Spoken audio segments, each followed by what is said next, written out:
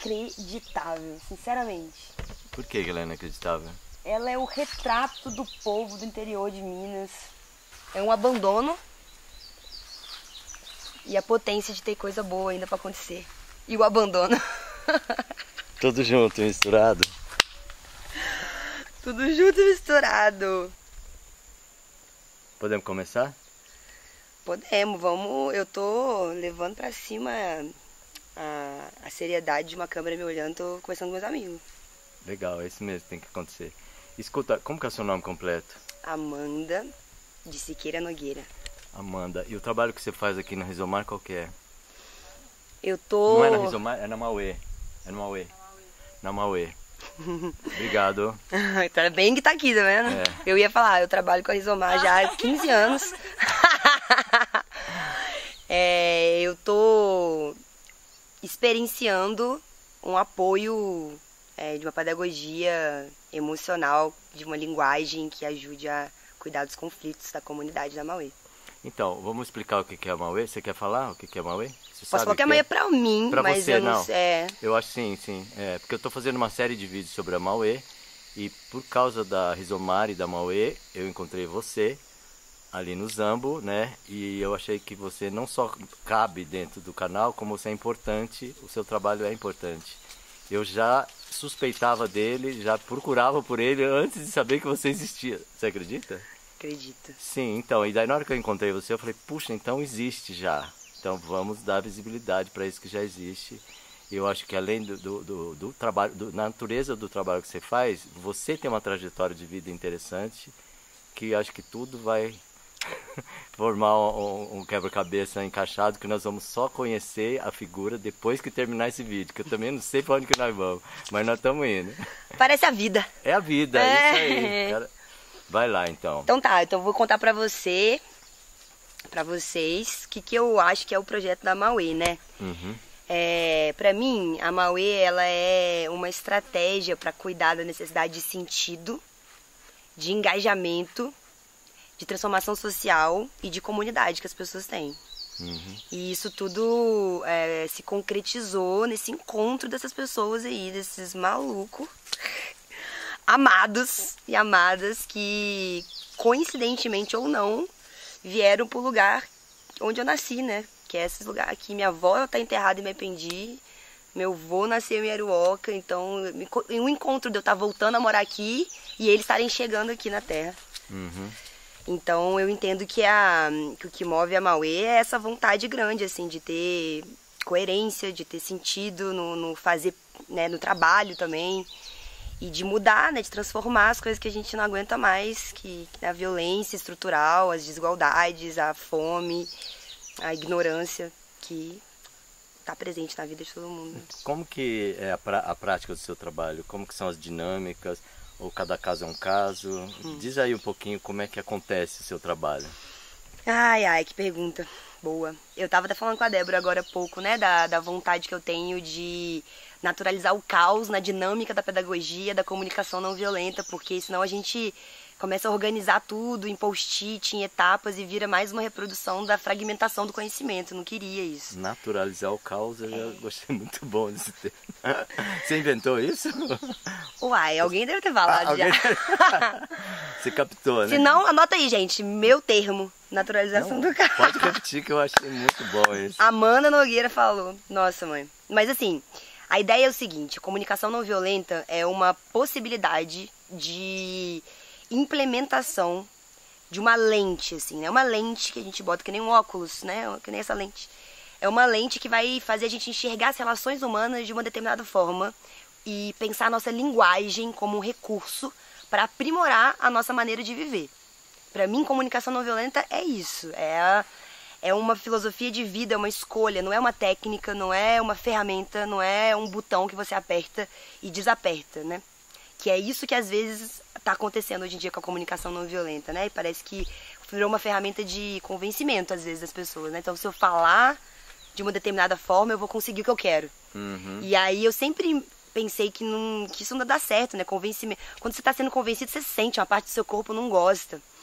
Então, a ideia é que dentro de formações comunitárias, a gente vai ter conflitos que são frutos do sistema de violência que a gente vive. E não necessariamente a gente vai pegar na porrada, como antigamente, vai matar o outro, mas a gente vai brigar com as palavras. A gente vai machucar o outro com a maneira que a gente vai expressar as nossas dores.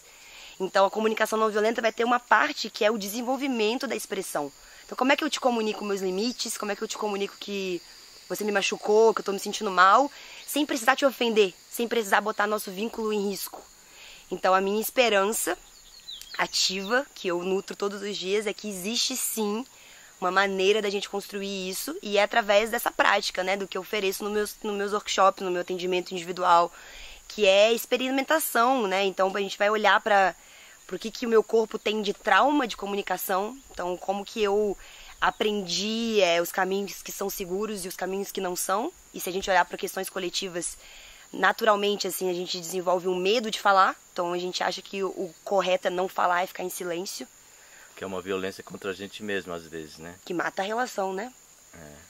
O silêncio mata a relação muitas vezes. A gente não fala pro outro que eu me importo, que tá doendo, como é que o outro vai saber? Falar em tá doendo, tem uma taturana aqui no meu ai, pé. Ai, ai, Que eu Ixi. acho que, ó, eu vou ter que tirar ela sem violência, porque Sim. senão ela vai me queimar, né? É, eu acho que vai ter que fazer Você ela quer fazer aqui. pra mim? Olha lá. Isso já não violência na prática. Só que com medo, tá, gente? o medo é seu, né? É muito medo. Ê, não picou ele, não queimou ele. É, mas eu vou jogar mais longe, Joga, porque senão... eu fiquei com medo. Ó, Fia, vai pra lá, que senão vai... Não joguei mais longe que eu tava com medo. gente, tudo acontecendo aqui agora. É que assim, vocês não sabem, mas tem 75 pernilongos picando a gente enquanto a gente conversa, mas a gente tá natural. 75, então eles foram todos pra você, porque não tem nenhum aqui. tem sim, tô vendo na tua cabeça, tem dois voando. Então eu sou muito insensível. é que você é de fora, eles Vai... gostam mais do sangue do povo daqui. É, vamos lá então. Você lembra onde você estava, não? Bom, você me perguntou como é que é o meu prática, trabalho, né? né? Na prática. E aí eu falei acontece. um tanto de coisa que eu não faço ideia se está claro ou não. Não, ficou claro. Eu estava acompanhando, mas é que eu não sei se teria continuidade, né? É, mas, por exemplo, você atende uma pessoa individualmente, atende um casal e atende uma um grupo de pessoas. Tem diferença na sua abordagem? Como que é a sua tem por causa do objetivo do trabalho. Então, é, eu fui estudar a experiência somática, que é uma técnica de psicoterapia para renegociação de traumas, que eu uso nos atendimentos individuais e alguns exercícios no grupo ou casal também, que é sobre conquistar a sensação de segurança interna. Porque é isso que a gente precisa quando a gente está vivendo um conflito, né? Então, quando chega alguém que está se sentindo mal, que não consegue se expressar, ou está infeliz, ou está insatisfeita, é, e essa demanda é muito individual, eu, tenho essa possibilidade de oferecer companhia, né? Eu não sou psicóloga e eu não faço esse trabalho, né? Eu ofereço companhia através da escuta e da metodologia da comunicação não violenta para criar autonomia para essa pessoa, para ela experimentar que ela pode é, começar a criar campos de poder de algumas pessoas, né? Poder experimentar dizer a verdade e ir ganhando experiência, né? Eu acho que coragem significa acúmulo de experiência positiva. Não é uma força que a gente tem, tipo, ah, tal pessoa nasceu com coragem, tal pessoa não. Na verdade, é um acúmulo de experiência. Quanto mais você vive experiências onde você consegue se expressar e consegue ser ouvido, mais você acha que isso é possível. Você ganha confiança para ter a coragem. Isso, você ganha coragem. É. Então, é, na comunidade que eu morei, eu tive essa experiência de me sentir escutada, de me sentir acolhida. A comunidade é Arca, Isso, você está falando? É, exatamente. Que, aliás, esse é um ponto em comum que a gente teve, né? Nós dois tivemos você por um período mais longo na comunidade da Arca, lá em, na França, Sim. né? Se você quiser falar sobre isso agora ou depois. É uma grande fala. coincidência, né? Que foi lá que você despertou para isso, da não violência? Tudo, a minha vida começou lá, eu renasci lá. Uhum. É meu meu segundo berço de vida, assim, foi uma transformação absoluta, assim. Tá, então, mas antes de você falar da Arca, eu queria te perguntar uma coisa. Onde o seu trabalho se diferencia de um psicólogo ou um terapeuta e de um coach? ou, ou eles roçam e se. Roçar é ódio essa palavra. Né? ah, nós estamos na roça. Esse termo cabe, desculpa aí. É ótimo, adorei, adorei. Muito bom, meu trabalho roça com muita coisa mesmo, mas não é nada disso, né?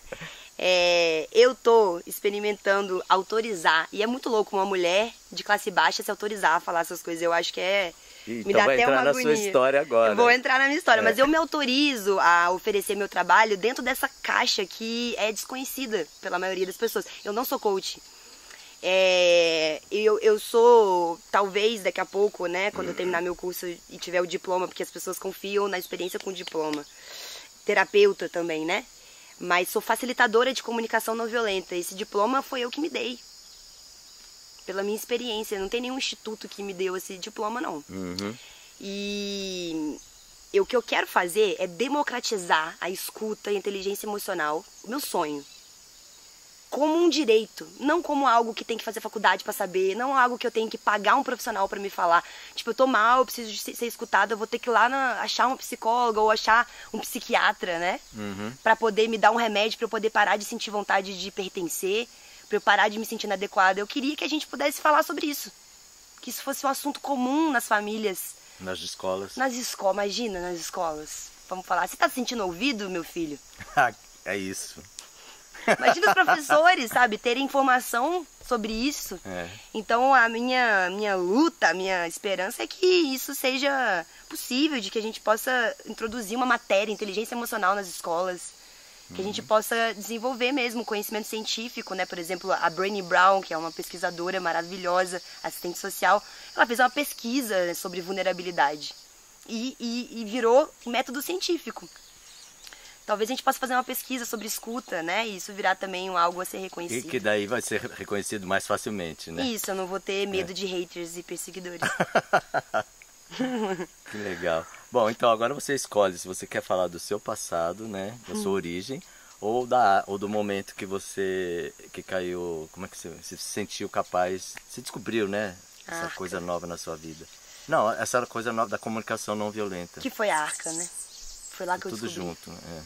é. Eu acho que é uma coisa só a história, mas É. eu vou. Então vai por onde você quiser. Ai, que gostoso ter a oportunidade de falar minha história. Obrigada, é um privilégio. Nossa, Por favor. bonito, né? Assim, sentir espaço pra dar importância pra, pra individualidade. Uhum. É tudo que eu quero. É, Você gosta, né? Você falou que Opa. você gosta. Ó, eu vou falar que eu, eu acho que é assim. Eu sou de uma cidade do interior, né? De Caxambu, nasci em Caxambu. Sul de Minas. sul de Minas. É, e vivi o mais trivial e banal dos conflitos é, possíveis, né? Do que a gente experimenta quando a gente tá na sociedade mesmo, né? De, de, de conflitos, de separação de pai e mãe, é, briga na justiça para visitar, pensão alimentar. Até que meu pai faleceu num, numa. Te contei isso? Contou, mas pode. Te contei você minha vida inteira. Contou rapidinho Nossa, aquele dia. mãe. Mas você pode contar de novo, porque aqui as pessoas não sabem Detalhe, ainda. é um detalhe, não é muito. É um detalhe. Mas eu achei formou. importante. É, Eu achei até pela profissão do seu pai e tudo. É, Acho meu legal. pai era policial militar e ele foi assassinado, sabia disso? Numa, numa luta aí, num rolê de, de, de, de dois adolescentes que estavam vindo de outra cidade aqui, de Conceição e tal. E a ideia que, que eu tenho sobre esse fato é que em mim ficou marcado as- o peso da violência estrutural da vida. Eu acho que na, naquele momento, com 12 anos, eu não pude sentir porque não tinha condição de sentir a dor que era. Né? É, o, meu pai não ter podido ser presente na minha vida por causa do conflito de comunicação, de linguagem e de emoção que teve entre ele e minha mãe. Então eu não tive convivência com meu pai por causa da briga entre eles, depois ele casou com outra mulher e a briga entre as famílias.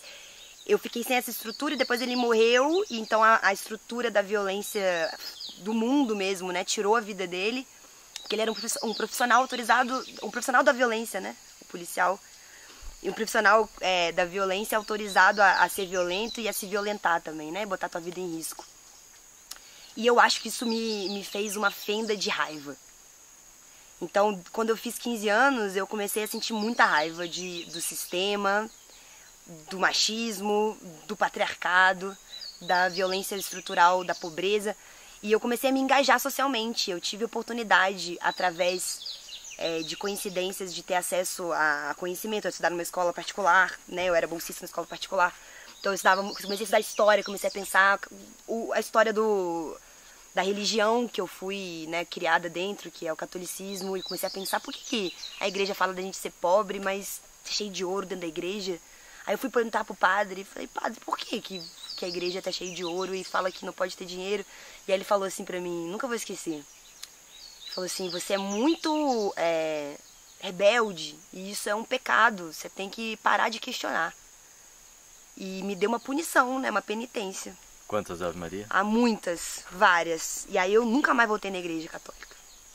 Porque eu falei, não é possível que tá errado perguntar. E aí eu fui investigar outras religiões, viver minha vida, e aí eu fui fazer serviço social, que é a profissão que eu decidi fazer com 14 anos. Já sabia que eu queria fazer serviço social. E aí fui morar no Rio de Janeiro, aí fui ver a pobreza de verdade, a favela, que eu nunca tinha visto, né? Assim, no interior não tem. Conhecer, conhece as pessoas que moram, que estão em situação de rua pelo nome aqui, né? E lá no Rio, não. Lá no Rio era loucura, impotência, é, inundação. Você foi pro Rio por quê? Foi fazer faculdade. Ah, faculdade, Isso. tá. Isso. Minha mãe falou pra mim, escolhe todas menos o Rio de Janeiro. Aí eu falei, ah, acho que eu quero lá. Imagina, minha mãe ver esse vídeo, ela vai rachar de rir. Ou não, né? Mas aí é, o Rio de Janeiro me proporcionou o, o contato com a, com a grande cidade, né? Então a sabedoria, de a autoestima que vem de saber me locomover pelo Rio. Você foi sozinha? Fui sozinha, 17 Você morou numa anos. república? Morei em várias repúblicas. Hum. Não tenho nenhuma saudade. Cara, o que, que é uma pessoa sem dinheiro, né? No Rio de Janeiro, Deus me livre. Não, porque geralmente os jovens têm saudade de um tempo de república que pode fazer, eles estão longe dos pais e pode fazer o que quiser, né? Os pais sustentados pelos. Os jovens sustentados pelos pais talvez tenham, mas no É. meu caso não, eu trabalhava, eu tipo, achava. Você trabalhava e estudava. Trabalhava e estudava muito. E aí eu fui perdendo a força, essa é a minha história. Eu fui perdendo a força, eu fui ficando cansada da luta pra mudar o mundo. Eu ia participar de movimento social, político. E me cansou ver incoerência. Então, tipo, as pessoas iam pegavam o microfone no palanque, falavam as, que queriam mudar as estruturas, mas no bastidor tava batendo na mulher, tava silenciando, né? Então eu ficava vendo essa incoerência. Um professor da minha universidade que falou que o sonho dele era pegar em armas e tomar o poder. E eu falava, gente, eu quero também que o poder seja distribuído pro povo, mas será que eu quero pegar em arma? Acho que eu não quero matar ninguém. E essa certeza de não querer matar ninguém me fez distanciar do movimento social, ficar num limbo. E nesse momento minha amiga, grande amiga Luísa, me convidou para conhecer a Arca. Falou assim: "Tem um encontro aqui no Matutu, que é o encontro foi lá, da Arca, você quer vir conhecer?" Aí eu achei estranho e eu falei: "Ah, vou lá ver o que que é". Você achou estranho por quê? Por causa do nome ou porque ela não disse bem o que era? Porque parecia uma seita, porque Parecia uma o que, que é seita. isso de comunidade? O que, que é isso? O que, que é comunidade? Se perguntar pro povo o que, que é comunidade, vai falar, sei lá, é meu, é meu bairro. É. Faz sentido comunidade, né? Só que aí eu cheguei lá, no primeiro dia já comecei a chorar. E eu já eu sou uma pessoa que choro muito, mas eu chorei demais quando eu vi a galera se cumprimentando e falando, né? A, a paz que existe em mim, saúde, a paz que existe em você. Já começou assim. Foi só isso, foi isso que me quebrou. Foi isso, foi esse negócio Foi de manhã, Brasil, oração então. do sol, oração do sol. Sabe, né, que você lembra? Acho que lá Lembro. onde você morou também faz oração pro sol de Tem manhã do e pro fogo fogo, à noite. à noite, é. Isso, esse ritual que eu falei, gente, dá pra viver Uhum. assim, então ninguém me contou. Aí eu peguei toda a grana que minha mãe tinha guardado pra mim com muito esforço. Praticamente roubei essa grana de mim mesma. Comprei uma passagem pra França e falei, eu vou lá ver onde que eles moram, onde que esse povo vive. Não tô nem aí que eu não sei falar francês. Vou lá. E aí, cara, imagina isso, uma menina do interior. Agora eu fico pensando, tem até empatia por mim, né? Pegar um avião. Aí eu lembro de eu chegando em Paris.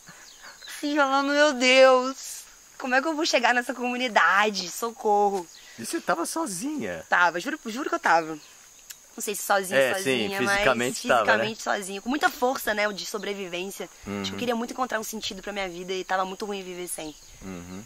E acho que tem um chamado no coração, né? Não violência, pô, pra mim realmente me salvou, com certeza me salvou. E aí, você chegou lá? Aí cheguei lá, aí foi toda a treta de adaptação, de, de não. E é isso que me tocou, né? Foi ver como que a galera não me conhecia, não sabia nada da minha vida, mas me acolheu, me deram um quarto, me deram comida e respeitaram, né, o meu processo ali de não conseguir comunicar com eles. Peraí, não tinha ninguém que falava alguma língua que E você. ainda cheguei lá no meio do verão e a galera tava viajando, tinha tipo, tinha seis pessoas na comunidade. Então eu cheguei, pô, no meio do mato, num lugar sem energia elétrica, Sem com energia seis elétrica. pessoas. Ah, você chegou na mais radical. Cheguei em, La Flessier, não, não tinha. Eu, eu tinha que, que fazer, cortar a lenha pra esquentar, pra fazer fogo no meu quarto pra não passar frio à noite. E aí, como é que foi isso pra você? Foi morte, morte, morri. Morreu. Morri pra viver, é. Porque depois eu amei, depois não queria vir embora. Depois eu adorei, depois eu amei muito tudo aquilo que eles me. Eles são minha família, assim, eu tenho um carinho imenso por eles, assim. Sinto que eu nunca vou esquecer o que eu vivi ali, assim. Tinha um... tinha um casal, inclusive eles, eh, o, o Jean Baptiste de Bourbon, você conhece esse homem? Não lembro o nome. Ele é um cara, um conhecedor, assim, da não violência gigantesco, assim, tipo, fez várias revoluções importantíssimas de não violência na França, escreveu vários livros. Ele me acolheu muito, eu lembro de ver ele andando de mão dada com a Janine, que é a mulher dele que me ensinou francês. E eu ficava pensando, gente, eles têm 60 anos de casamento, por que eles estão andando de mão dada? Dentro de casa, para comer ali? Que que é isso? Que amor é esse que eu nunca vi? Tinha referência de casamento assim bonito? Não tinha. Não. Aprendi que existe lá. Fui longe para descobrir, né? Escuta, é, não sei se lá Flessier tinha também.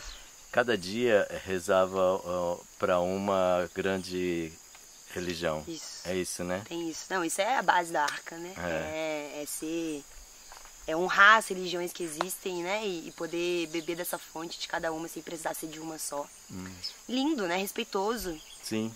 Escuta, e, e- e você falou que queria continuar morando lá. O que que te fez sair de lá? Porque ali tá- a te acolheu, te deu o que você precisava. Quase que eu não volto, né? Por quê? Que- que- por que que saiu então? Duas coisas principais, né? Uma que eu deixei minha faculdade, tinha trancado a faculdade, tranquei a faculdade no meio pra ir pra lá e eu queria terminar. Mas podia terminar lá, sei lá. não dá. Mas... Outra Tinha que eu era ilegal. coisa. Ah, você era ilegal. Era ilegal, não tenho visto, né? De ir pra Hum, morar tá, na Europa. Você ultrapassou o Passei, período lá. ultrapassei. Que era três meses, depois Isso. com renovação. Aí eu fui pra, pra Dublin e voltei de novo pra ver se eu pegava mais três meses. E peguei, não sei como que me deram. É, os primeiros três eles dão. Hoje em dia não tá mais assim. Ah, também, né? Mas essa era uma técnica, é, Todo né? mundo Que fazia, você sai e é, volta, né? Foi é. isso que eu fiz. Fiquei cinco dias e voltei. Mas eu morri de saudade do Brasil. Morri, morri, morri. Ah, então Morri é, é isso que eu queria que você falasse. Morreu de saudade do Brasil. Nossa, eu ficava trabalhando lá, cuidando das vacas, ouvindo minhas músicas. Em português. Brasileiras, claro, nossa. E eu me enchi, eu, eu naquela época desinstalei Facebook, tudo, sabe? Fiquei Ah, você radical. desinstalou? Não, eu mandava carta, tu acredita? Acredito. É, no meu tempo eu também família. mandava carta porque não tinha Facebook. Eu sou a. Como é que é o nome disso? A- A vintage. É. Que, que quis fazer, né? Mandava carta pros meus amigos e me encontrei com o silêncio. Mas Meditava três horas por dia. Sexta-feira ficava em silêncio e rezava com o Gandhi na sala do Gandhi. Fazia yoga. Então eu aprendi o poder da disciplina, não sabia. Uhum. Não sabia sobre isso. Aprendi a me vincular com pessoas através de olhar. A, sabe, a, a, me, a confiar em pessoas que, não, que eu nunca tinha visto, que não falavam minha língua, que não conheciam minha história. Você aprendeu a ler as pessoas também, né? Acho que sim, né? A, a me sentir confortável. É muito doido, né? Se sentir confortável num lugar muito distante do seu. É, sem falar a língua direito e tal. E, então, no meio disso tudo, né? Você falou que sentiu saudade do Brasil. Você ficou com você? Você não teve nenhum relacionamento né, com ninguém? A não, vida não me deixou, eu queria. Você quis? Eu queria me envolver, mas a vida não deixava. Era, tinha, tinha que ser na solidão. Tinha que ser. Tinha que ser, né? Tinha que ser. É mais rápido, intenso, né? Não sei, é. Tinha que ser na solidão. não- É isso também. Se eu tivesse talvez me apaixonado, vivido uma relação, não tinha voltado. Sei lá. É. O amor puxa, né? Mas não, eu fiquei, fiquei coração livre, aí voltei pro Brasil com tudo aquilo que eu queria trazer pra cá, né? Então, Sim. gente, existe não violência.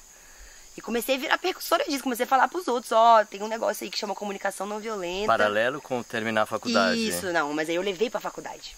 Ah, tá. Aquilo já fazia parte de você daí. Eu tava com muita sede, né? Foi água seca. Foi água pra uma terra seca. Uhum. Então eu fui fazer estágio no Tribunal de Violência Doméstica. E aí a minha supervisora me deixava fazer grupos, é, porque no Tribunal de Violência Do- Doméstica, né, a Lei Maria da Penha, prevê grupos reflexivos no lugar da, da, da prisão, porque já entende que a prisão não muda a pessoa. A Lei Maria da Penha é uma lei super Que interessante inovadora. isso. Então, fala o que, que é esse tribunal? É tribu- Tribunal de Violência Doméstica de Niterói, que tem Tá, e você era estagiária. Isso, perfeito. E aí eu, eu fazia, eu tinha grupos para homens condenados pela Lei Maria da Penha e grupos para as mulheres que estavam envolvidas em situação de violência. Tá. Então eu cheguei ali com o meu feminismo, ali naquele jeito, e a minha supervisora deixou eu para fazer práticas de CNV, de comunicação não violenta. Entendi. Os homens eram reclusos? Não, eles eles estavam pena alternativa. Pena alternativa. É, ao invés de mandar para prisão, te manda frequentar um grupo de Tá, reflexão. porque a prisão ia- É aquilo que a gente sabe. isola, né? É. Não vai, não vai restaurar, não tá feita pra isso. Então era uma alternativa, é uma, uma parada bem te- tecnológica da lei. Não é todo lugar que tem esse acesso a isso, porque Niterói é uma cidade com recurso. O Tribunal de Violência lá tinha grana pra pagar, assistente social e tal. Se for ver aqui, Es- Escuta, vamos falar mais um pouquinho sobre isso. Você sabe se alguém ficou interessado? Onde que acha isso? O quê? Talvez e- esse tribunal, esse tribunal que você trabalhou, né? Talvez tenha numa cidade próxima das pessoas, elas podem procurar, né? Não, então, é, qualquer delegacia é obrigada a aceitar uma Não, então. denúncia de, de, de, de- violência, né, contra a mulher. Mas essa pena alternativa e tudo. E a- não, isso é para o Brasil inteiro, isso é a lei, né? É a lei, mas onde que efetivamente tem espaço para uma pessoa chegar lá e desenvolver esse trabalho de não violência que você falou? Então, eu não sei, eu só sei que o que aconteceu foi que eu comecei a. Eu comecei a ser transformada por esse trabalho, então meu feminismo começou a ser transformado, porque eu tinha muita raiva de homem que batia mulher, imagina? É. Queria matar os homens, mas aí eu fui perguntando pra eles, como é que você sente estar aqui?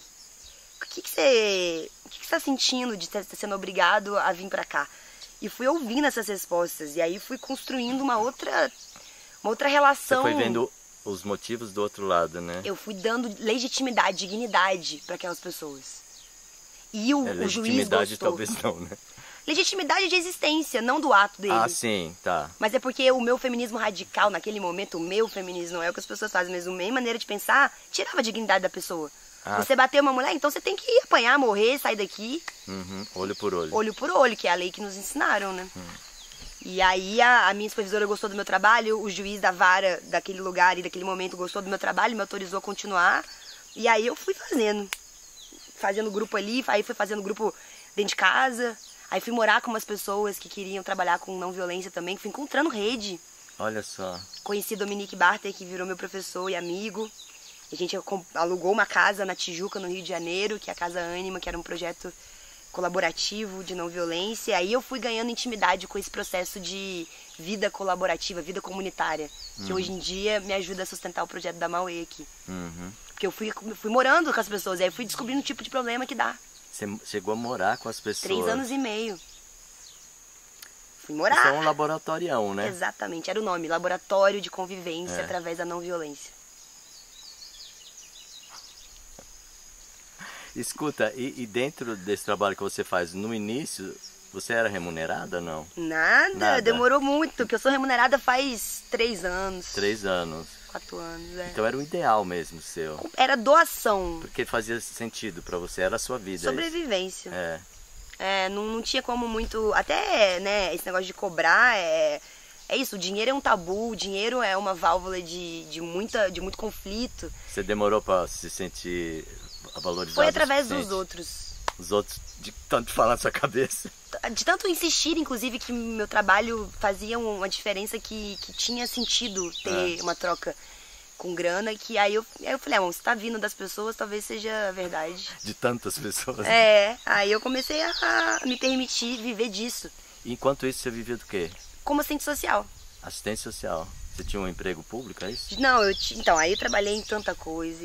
É? Trabalhei em muita coisa. Trabalhava, eu fazia muito projeto colaborativo, né? Então eu apoiava dinâmicas de projeto. Então conheci um pouco de Dragon Dreaming, conheci um pouco de, de metodologia, de sociocracia. E aí, por exemplo, eu fiz um projeto numa ONG no, no Parque Lage, no Rio de Janeiro, que tinha a ver com comunicação não violenta, mas tinha a ver com arrecadação de recursos. Trabalhei um tempo no Médicos Sem Fronteiras, é, com formação de equipe. É, fui trabalhando assim com o que dava, né? Mas a grande virada foi descobrir que eu podia trabalhar com o que eu amava, que eu não era obrigada a fazer o que eu não queria. Uhum. Que isso é uma grande diferença, né, da, da classe trabalhadora que não, não tem essa escolha. Né? A gente é, a gente trabalha para sobreviver e eu comecei a descobrir que eu posso trabalhar por amor também. E eu tô vivendo assim até, agora- até agora eu não acredito. Até agora parece que pode acontecer alguma coisa e tipo destruir tudo e tipo, não, era só um sonho. É verdade, ainda demora pra eu acreditar ainda. Então, hoje, né? Você, você me falou que você está atendendo online. A maior parte dos atendimentos é online. Sim. Você não sente falta do corpo a corpo ali junto? Sinto muita falta mesmo, acho que vai chegar, vai vir. O que tá acontecendo na minha vida individual, assim, né, é que depois de muito projeto colaborativo, de muita casa comunitária, eu, eu voltei, eu fui morar na França de novo, assim, Ah, é? né, eu fui, eu fui pra ficar um ano na comunidade de novo, em 2000 e... Na mesma comunidade? Na mesma comunidade, em 2000 e quando foi? 19. Tá. 2019 eu voltei pra França. Que era para aprimorar, para aprofundar? Que Foi que assim, teve um congresso internacional de todas as comunidades de- da Arca do mundo. Aham. E a o grupo da comunidade da Arca do Brasil pagou minha passagem pra eu ir porque eu era engajada mais nova. Eu acho que eu sou engajada mais nova.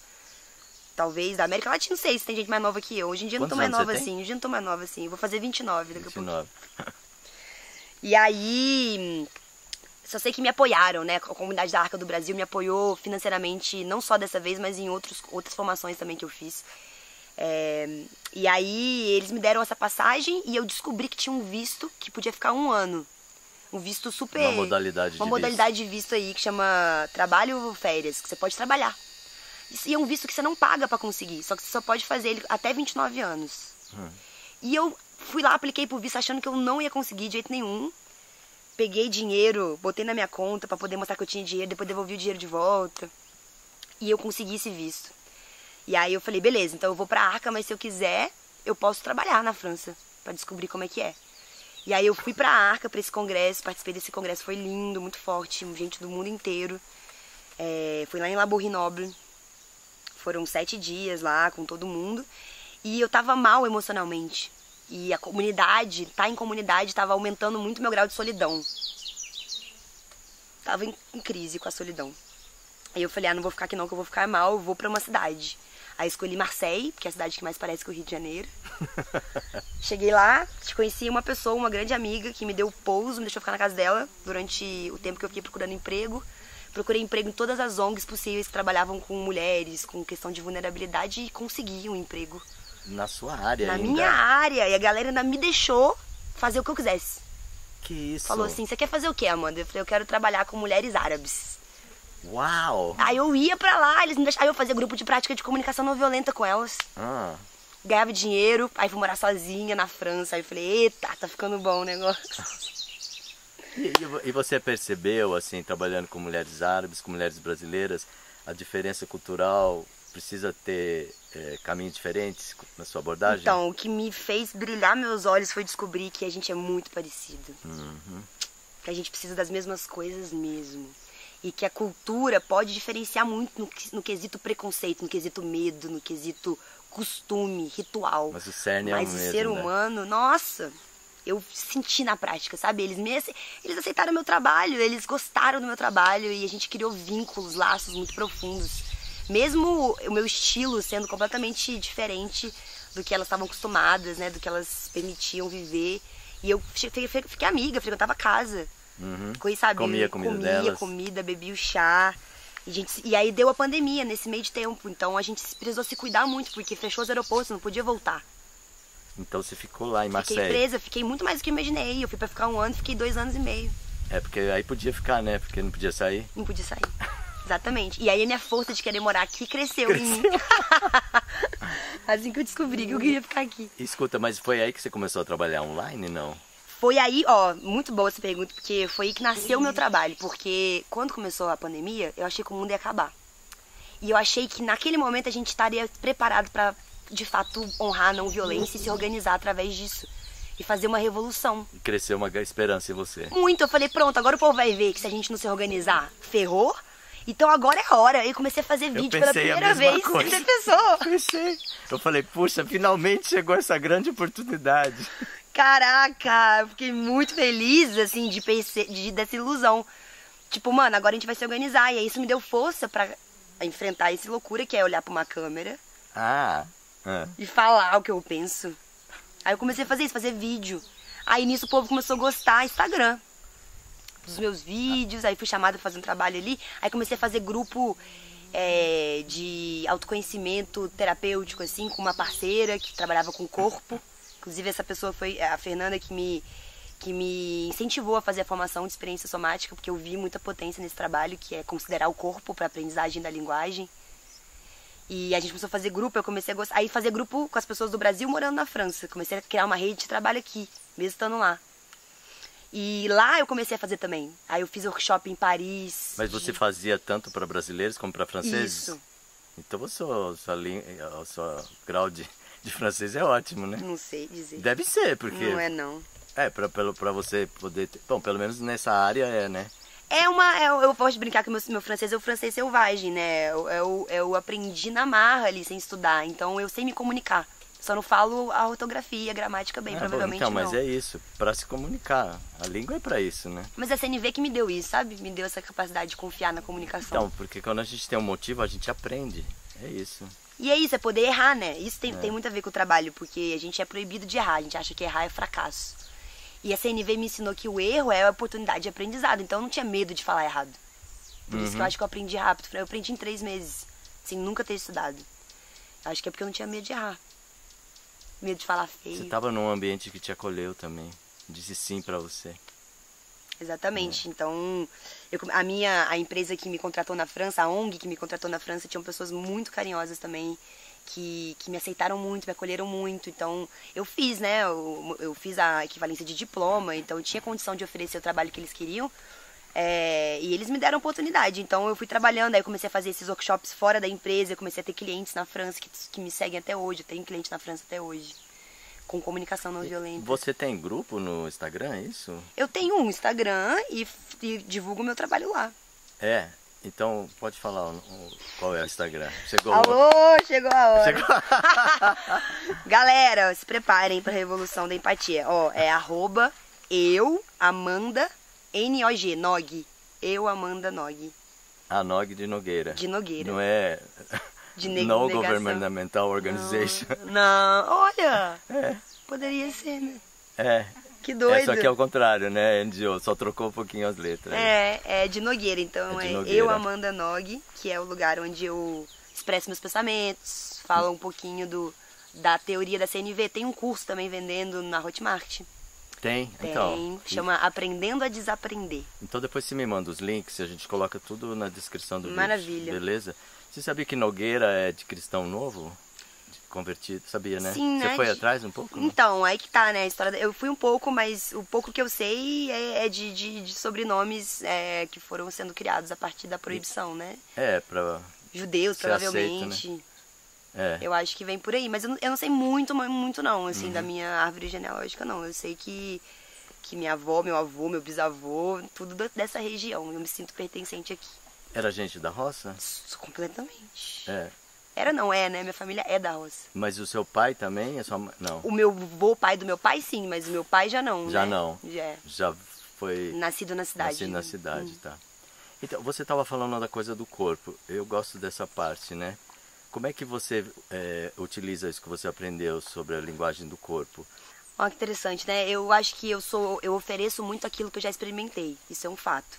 Então eu acho que o que eu consigo guiar, oferecer companhia, são caminhos que talvez eu tenha alguma identificação. O que eu descobri no meu corpo é que a sensação de segurança, por exemplo, e de dignidade foi algo que eu conquistei depois de adulta. Não foi me dado.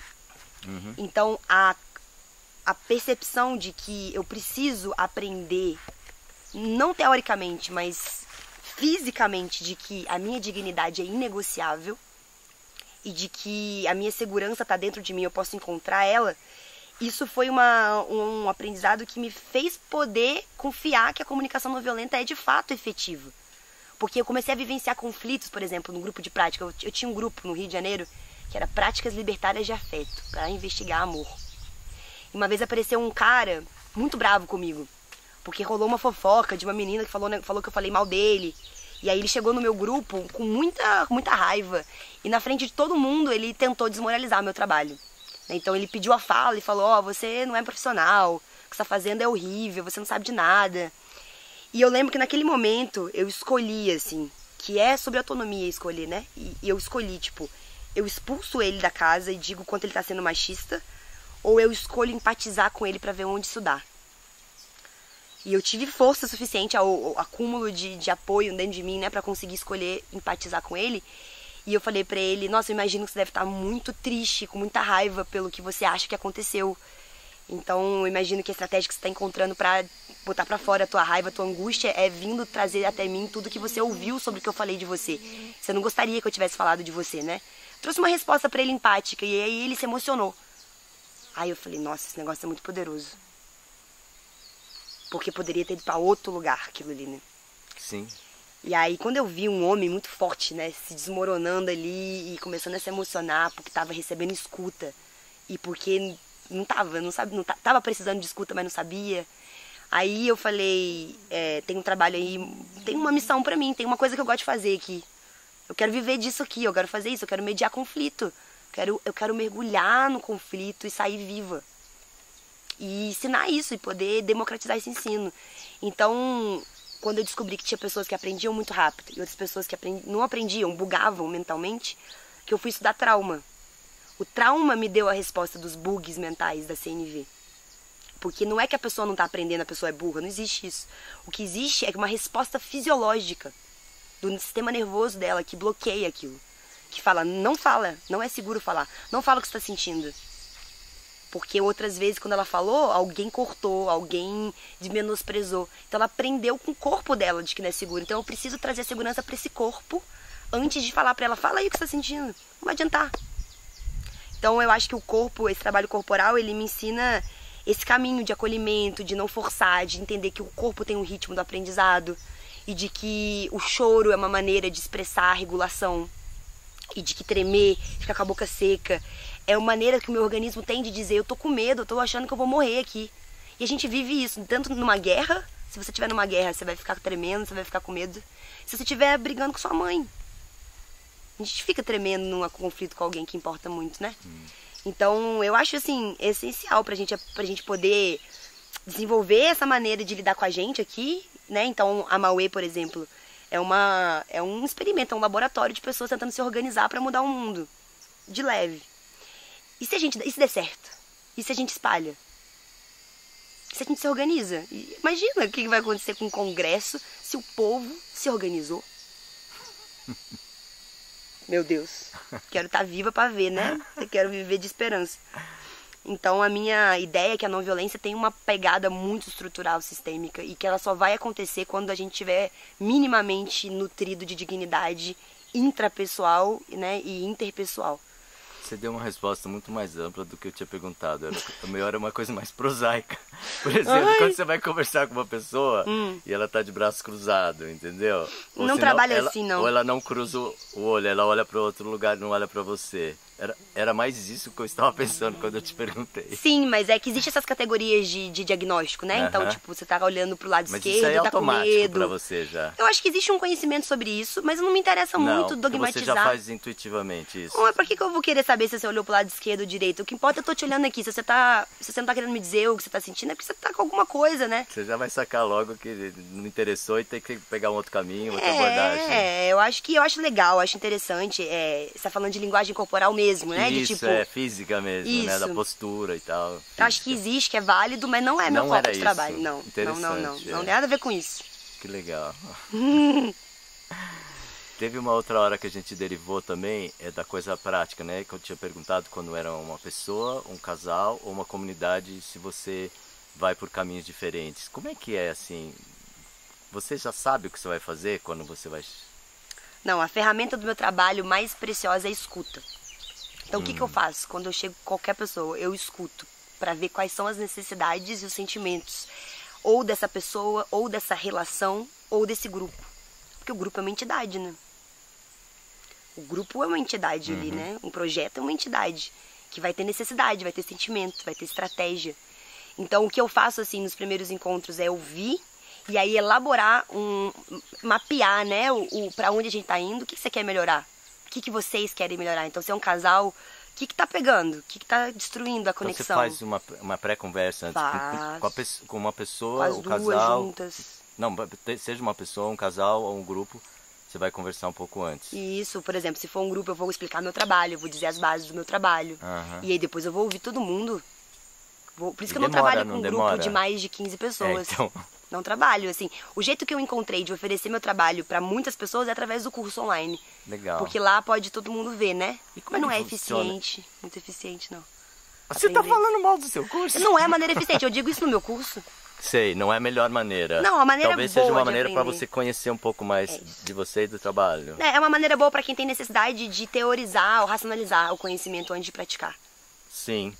Aí você vai lá e você assiste o curso, lê os livros, mas a, o bagulho vai mudar na prática. Na prática, lógico. Na é. experiência. Uhum. Que bacana. É isso, não sei se você tá, tá, ainda tá com dúvidas, mas talvez a gente tenha atravessado quase todos os não, caminhos. Não, dúvida não tenho, mas eu tenho a intenção de dar voz para você, visibilidade, porque eu acho que o que você está fazendo, do jeito que você está fazendo, é importante. E se isso reverberar né, nas pessoas, que vai encontrar eco em muitas pessoas. Tomara. É isso que eu estou fazendo aqui. Entendi. Então é um momento de poder falar sobre tudo que nutre esse trabalho, na verdade, né? Sim. Eu acho que. Ah, fala tu. Não, vai. É, eu ia dizer de uma coisa que eu acho importante, talvez, que conecte com as pessoas que estão vendo o seu trabalho, né? Estão vendo a tua, a tua pesquisa no mundo aí, teu andar. É que a gente tem, nasce de uma cultura é, que evita o conflito, né? A gente tem uma cultura que olha para o conflito como o risco de morte. E isso vem da nossa história com a violência, porque nós desenvolvemos a sociedade é, usando duas estratégias principais, né? Luta e fuga. Então, quando a gente vê que pode ganhar, a gente luta. Quando a gente acha que vai perder, a gente corre. Tá, mas isso é muito instintivo lá para trás, né? Não, isso aqui é aqui agora acontecendo. Então, mas quem não tem consciência ainda está agindo conforme o instinto, né? Totalmente. Quem não tem acesso a esse conhecimento vai ser vítima dessas estratégias. Isso, é. E o que acontece é que o conflito tá para nós como a guerra. Então a guerra é o lugar onde a gente vai para matar ou morrer. O conflito também. Não é? Pô, que loucura, né? Mas não é assim que rola, é, é. impressionante. É. Quando você tá vivendo um conflito, você tem que convencer o outro, você tem que se submeter a ele. E você falou aquela coisa da raiva também, né? Das pessoas terem uma ideia negativa da raiva e, e, e não quererem ter raiva porque na, raiva é ruim. Exatamente. Eu acho que a gente foi ensinado a evitar a raiva nessa perspectiva de uma, de uma lógica, de uma promessa de que existe como viver só na paz, viver só sentindo amor o tempo todo. Isso não é vida, né? A vida é diversidade das coisas, né? Vai acontecer tudo. E a raiva, ela é a força da luta. A raiva é a energia que faz o bebê empurrar o útero para nascer. A, a, sementinha quebrar a casca para nascer. Tempestade, trovão. É a energia da força da natureza. A gente tem isso dentro da gente. Foi a raiva que me fez querer sair de Caxambu, estudar fora, conhecer outras coisas. Né? Diminuiu o meu impacto do meu medo. Me deu uhum. força de lutar. Sim. E a raiva é muito potente pro ser humano, a gente precisa, a gente precisa dessa força. Você falou uma coisa interessante agora do bebê saindo, né, rompendo, porque agora que me, nunca tinha pensado por esse ponto de vista, né? Que de repente aquele ambiente que era seguro, gostoso, se tornou hostil. Então ele precisa sair. Precisa ampliar, né? É. Nossa, que é, é, é sobre isso mesmo que que foi porque eu também talvez tentei por muito tempo esconder minha raiva. Tá sempre renascendo, né? Toda hora, quem Saindo dera de todo um útero confortável para procurar um negócio menos ruim. Vamos ver o que é e, e, sai. E olha que interessante a parada da linguagem, né? Pensando palavra, né? A origem da palavra é incômodo. Você tá é. fora. É, é, cômodo é o lugar onde você conhece. Incômodo, você não tá no teu cômodo, você tá entre os cômodos, você tá num lugar estranho. Teu corpo faz, ai, tô incomodada. Você quer mexer, né? Você quer ir pra algum lugar, você quer uma, é uma força de resolução. E o que eu vejo é que esse, essa história de violência do nosso país, por exemplo, né, que foi construído na colonização, no estupro, a gente carrega essa, essa parada aqui na nossa DNA, na nossa memória ancestral. Que povo é esse? Que foi que, que acabou de que, que foi construído a partir de uma dominação que é recente, que todo mundo gosta do samba, mas todo mundo acha que enfim, todo mundo desqualifica em algum lugar, né, os países do sul. A gente tem essa história com conflito. E eu acho que a gente precisa começar a naturalizar o conflito como oportunidade de conexão. Então, quando eu olho para o conflito como, olha, aqui eu vou descobrir o meu limite e talvez descobrir o limite do outro. Aqui eu vou descobrir as coisas que me nutrem, que tornam, tornam a minha vida mais bonita. Então, o que, que você faz que torna a minha vida mais bonita? Que, que eu faço que torna a sua vida mais bonita, é na hora do conflito. É o conflito que dá a oportunidade de, de, da, da tensão, da fricção ali. Ó, oh, tu fez uma parada que eu não gostei. E aí? O que a gente vai fazer com isso? E pra gente viver em comunidade, a gente precisa desenvolver essa malemolência aí. Então, e por que, que a gente vai viver em comunidade, né? Se, se estar sozinho evita o conflito, né? E a gente controla tudo ah, Por essa quê? Você consegue responder essa pergunta agora? É muito chato. não tá em relação. O ser humano, ele é movido pelo amor, pelo afeto. Ser afetado, a gente gosta de conexão. A gente muda a vida quando a gente se conecta com alguém, com alguma coisa. O que, que é o bebê, agora falando sendo metáfora, o bebê nascer e olhar, olhar pra cara da mãe? Dizem, né? Não sei, não sou mãe, que rola uma parada louca ali do olhar, assim, tô É. te vendo pela primeira vez. Isso faz muita falta pra nós. É se conhecer através do outro, né? Então aprender sobre si na relação com o outro. Não tem como fugir disso. Tem exceções da galera que vai morar na montanha, que fica só. Você também foi morar sozinho, não foi? Eu fui, mas eu voltei correndo. Ficou com os Porque naquele momento eu precisava estar comigo, foi minha cura. Eu não sabia que era, né? Mas foi minha iniciação, minha cura. Se eu, se eu não tivesse ido lá, eu ou teria sucumbido ou estaria muito doente. Pode ser mesmo, né? Mas é, isso, isso que você está falando, essa resposta que você deu, é isso mesmo. A gente se conhece através do outro. Aliás, é por isso que eu tô aqui, né? Também. Porque tava muito bom lá, sozinho. Cara, mas não tinha graça. Cara, vou me perturbar um pouquinho, vou Me ali. perturbar um pouco. Vou ali mexer com o povo louco que resolveu comprar uma casa louca É, numa pra terra. minha vida ficar com um pouco mais de graça. Umas dúvidas, né? Uma, uma vontade de mudar. Eu também tô perturbada nesse momento da minha vida. Vim, vim perturbada. A viagem da estrada me acalmou. Uhum. Mas tô perturbada, querendo mais, querendo mudança. Pensando, será que eu me mudo? Arrumar mais problemas. Claro, óbvio, com certeza, adoro.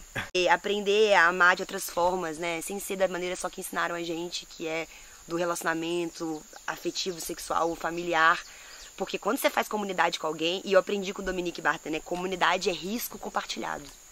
Ah, Então, quando você se engaja com alguém numa comunidade, está fazendo uma revolução contra o capitalismo, né? Você está dizendo não para o individualismo que nos ensinou que você tem que conseguir teu emprego, tua casa, teu carro, teus filhos, teu a dinheiro. qualquer custo. Qualquer custo. Mesmo que custe a tua vida, a tua felicidade, né? Que é isso é o caminho que a gente faz se a gente não prestar muita atenção. Então, assim, é, quando eu encontrei a galera da Mauê, que eu falei, gente, eles estão radical. Uhum. É. Eles vieram mesmo morar no, no- no- na casa de espírito. Falar isso não no vídeo. Não tem espírito, eu já tô há uma semana dormindo aí. Você talvez seja amigo dos espíritos. Tem É, espírito. Talvez, sim. não pensei nessa possibilidade.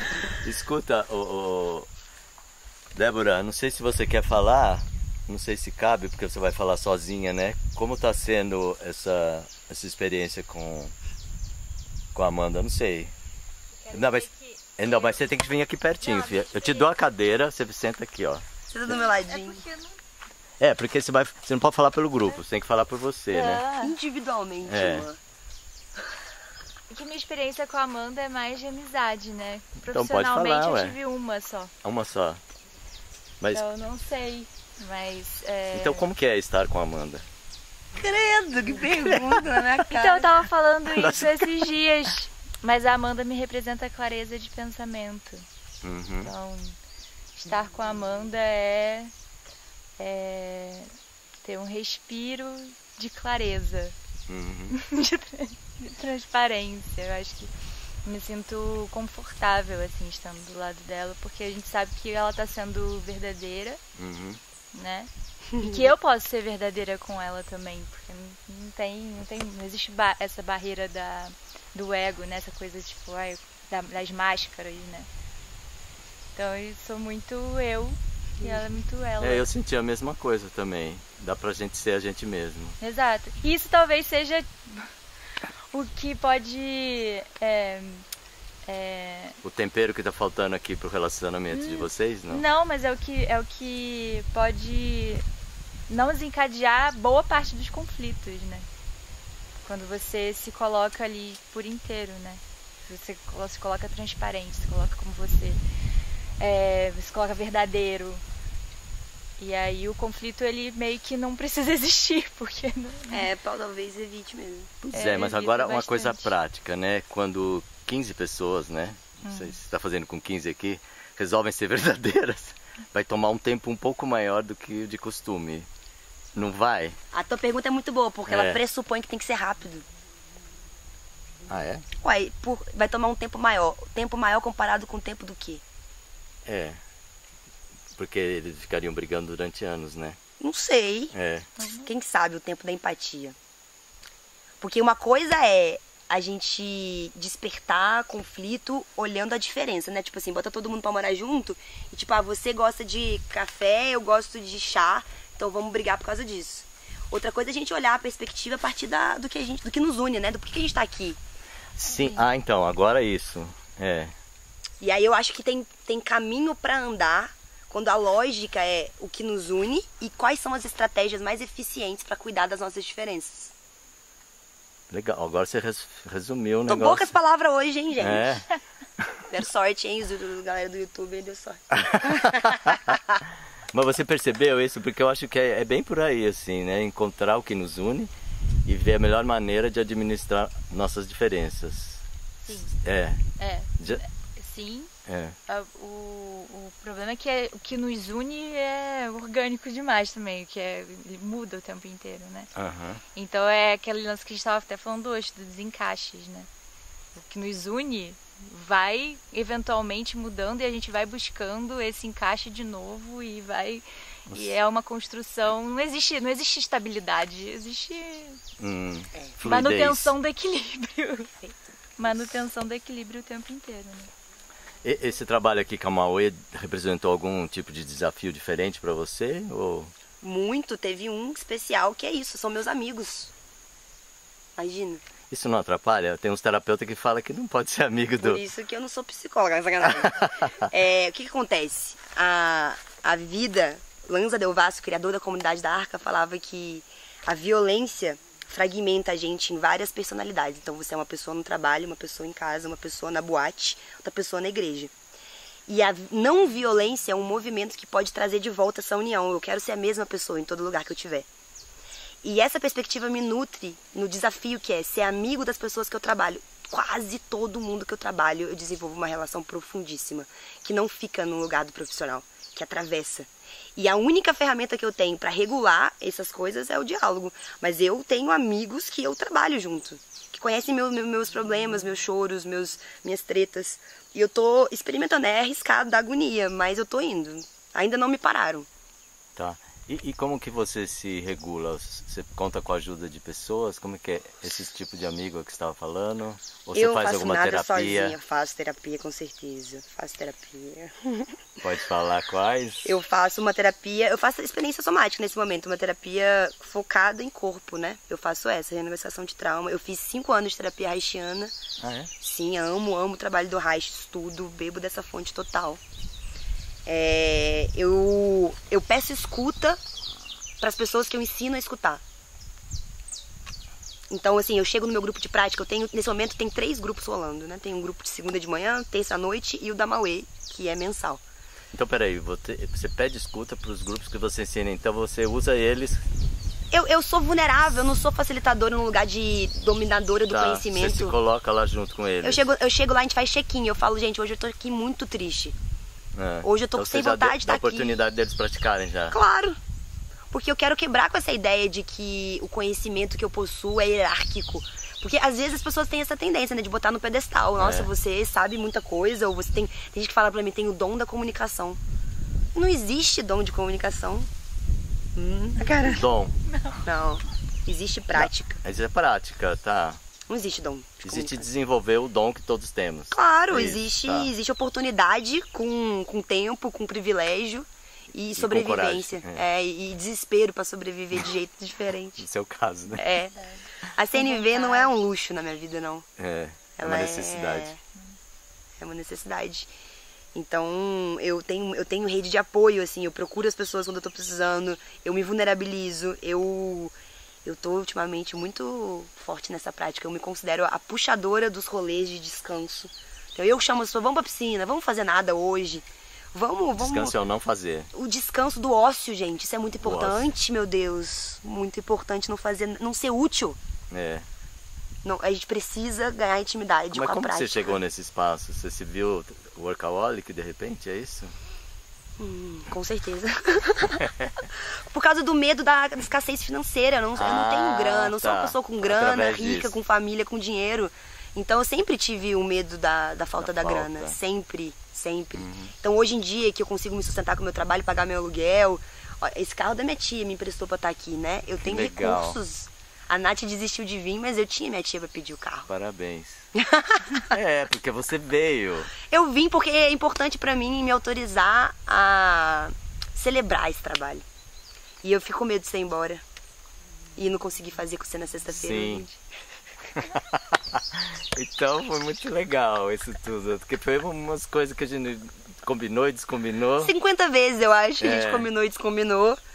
Quis me dar esse presente. Legal. E tem que agradecer a Débora também, porque ela me trouxe, ela sacou que eu precisava estar aqui para vir fazer esse trabalho agora. Totalmente. Obrigado, Dé. Verdade, amiga. Tamo junto. Tamo junto, todos nós.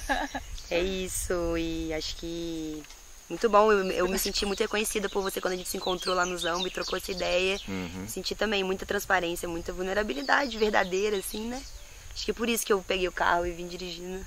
Que eu achei que pode, pode ser importante esse movimento. É importante. Daqui a pouco você tá morando aqui, né? Não falei. Não sei, eu moro onde eu estou. Ih! É assim. Já rolou essa conversa. Eu tô achando Você intuição. filma nós, quero dar um abraço nela. Ai. Oh. Certeza. Hum. Oh. Ah, Ai, que delícia. Pro mundo! Vamos, não violência. Eu tenho certeza que essa menina vai crescer muito. Vai. Eu tenho certeza disso. Eu tô vendo. Eu, Todos nós juntos. eu sei ver o futuro. Estamos com um bruxo aqui. Tem uma, tem uma sementona aqui dentro fazendo assim, ó. Arro, axé. Bora, galera, bora. Com certeza. E aí, braço vocês também, É. gente. Amiguíssima. Ai, que delícia. Então, você é muito inspiradora, viu, de coisas. Ai, que Maravilhosa. delícia.